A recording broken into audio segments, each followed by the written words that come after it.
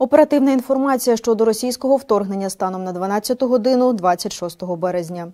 Триває підготовка та переміщення додаткових підрозділів Східного військового округу на території України. На Волинському напрямку противник наступальних дій не проводить. Разом з тим відмічається виведення з пунктів постійної дислокації підрозділів Збройних сил Республіки Білорусь на полігони.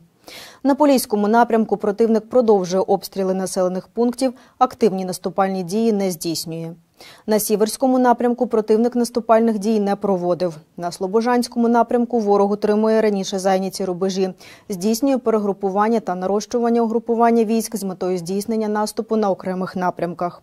Продовжує обстрілювати місто Харків. На Донецькому напрямку противник зосередив зусилля на утриманні зайнятого положення та підготовці до наступу. При спробах просунутись вперед успіху не мав, зазнав втрат. Продовжував спроби штурму міста Маріуполь, наносив авіаційні удари та здійснював артилерійські обстріли по об'єктам цивільної та військової інфраструктури. Намагався здійснити просування з метою зайняття центральної частини міста.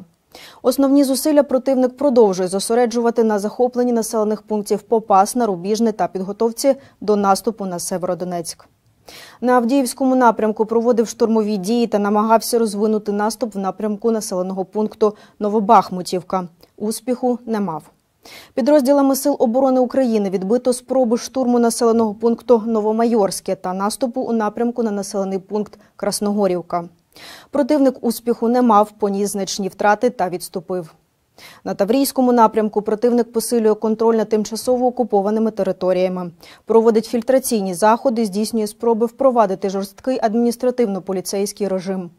Основні зусилля сил оборони зосереджено на недопущенні просування противника у напрямках на Кривий Ріг, Запоріжжя та обороні міста Миколаїв, утриманні визначених ділянок морського узбережжя, охороні та обороні об'єктів критичної інфраструктури, звільненні тимчасово окупованих територій.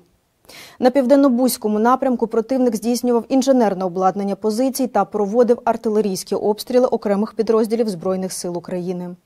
Силами оборони України проводяться заходи з оборони пунктів базування морських портів у Чорноморській операційній зоні. Вірте у Збройні Сили України, перемога буде за нами.